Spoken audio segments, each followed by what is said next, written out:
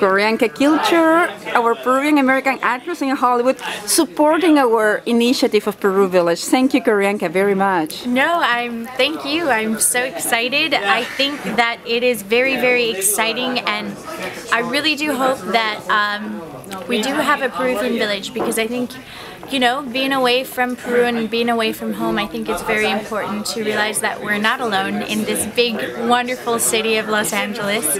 Um, but we have our brothers and sisters here with us and uh, community.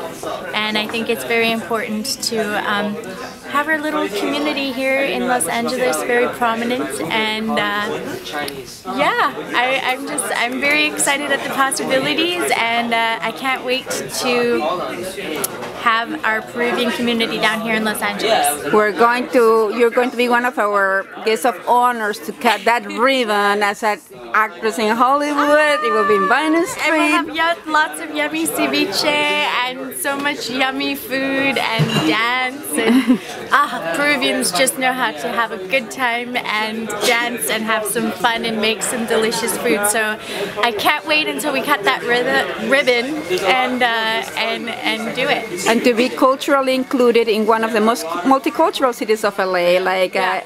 Chinatown, Koreatown, Little Armenia. The Peruvian community has a lot of things to give. Culturally, you know, you come from indigenous ancestors and you know how rich is our culture. Yeah, no, I think, um, you know, Peruvians, we have a very rich culture and um, we have so much to share. Um, and so many people every single year come to Los Angeles from all around the world. So I think it would be really important, and really great to have, um, you know, like China Chinatown and Koreatown have um, a Peruvian Peruvian town here, um, where those people from around the world can come and uh, learn a little bit uh, more about our rich culture, taste our delicious, yummy food, and see how Peruvians do it a little bit back home in Peru. Thank you, Orianka. Thank you so much.